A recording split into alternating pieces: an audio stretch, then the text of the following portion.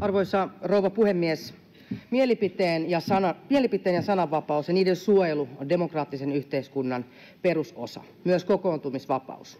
Vapaaseen yhteiskuntaan kuuluu oikeus ja mahdollisuus järjestää mielenosoitus ja osallistua mielenosoitukseen. Nyt oikeusministeriö on lähettänyt lausuntokierrokselle luonnoksen koskien kokoontumisvapautta.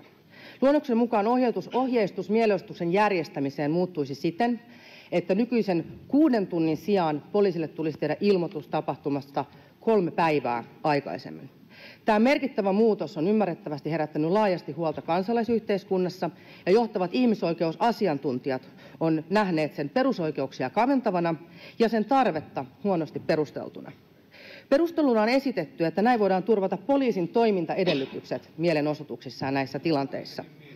Kysyisin hallitukselta, että eikö tässä nyt vastata poliisin resurssipulaan kaventamalla kansalaisten perusoikeuksia? Ministeri Häkkänen.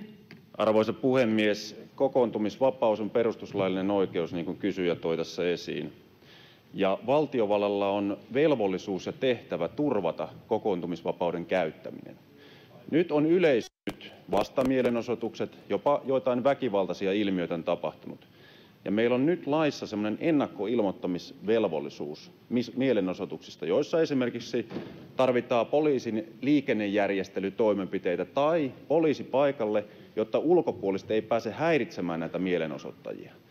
Ja kuuden tunnin aika, mikä nykyään on, on poliisin piirissä koettu liian lyhyeksi ajaksi, jotta poliisi kykenee turvaamaan kaikkien oikeuden osoittaa mieltään. Sen takia laki on lausunnoilla, että tätä aiotaan pidentää, tätä ennakkoilmoittamisaikaa, että poliisi kykenee turvaamaan kaikkien oikeuden osoittaa mieltä. Mikä se ennakkoilmoituksen ajan pituus tulee olemaan, se ratkaistaan vasta myöhemmin.